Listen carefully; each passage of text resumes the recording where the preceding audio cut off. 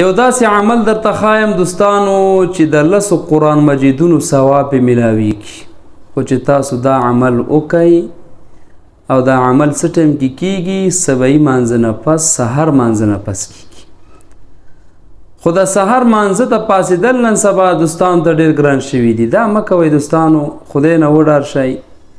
سهار ټایم دا ډېر برکتي ټایم دی په دې ټایم باندې خدای پاک قسم خوړلی والفجر قسم خوري د سبعي په ټیم باندې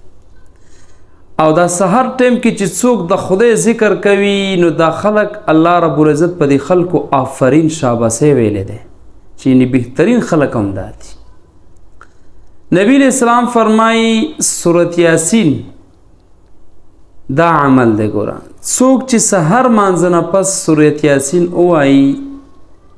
نو رب ذوالجلال به دته د لسو قرآن مجیدونو ثواب ورکوي د لسو قرآن مجیدونو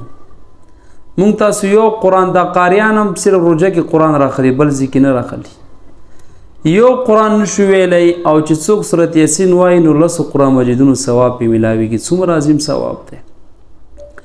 دا زده کې کنه دا دوستانو زده کې کچا زده یې کوشش وکړي چې هر سهار مانځنه پسې وایي او دې ټیم کې ویل سنت عمل دی او بل ټیم ویل د دې صورت یاسین دا مستحب دی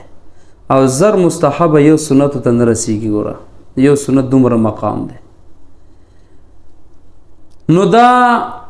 یو بل حدیث کې راځي نبی اسلام مبارک فرمایي وې د هر یو شیز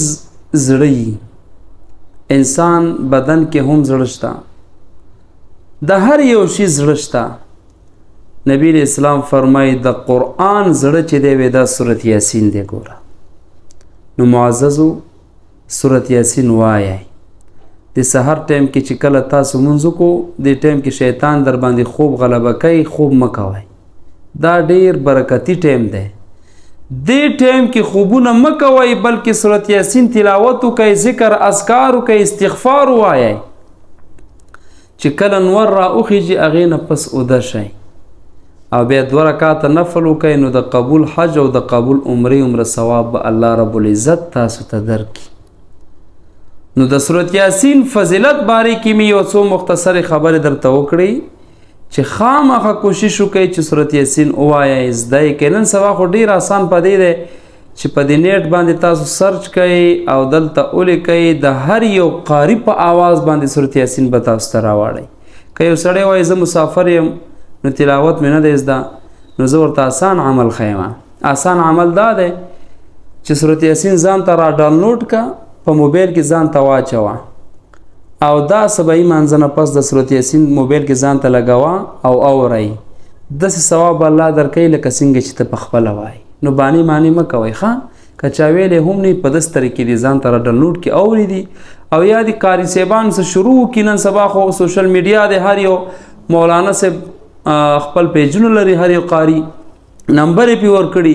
څوک چې تلاوت ته زړه وي درس ته زړه وي نو وای درابطې ور سره کوي ورته شروع به کې لس پنځه منټه به ور کوي ان شاء الله ټول ته سبق زدم شي او دا خامخا وایي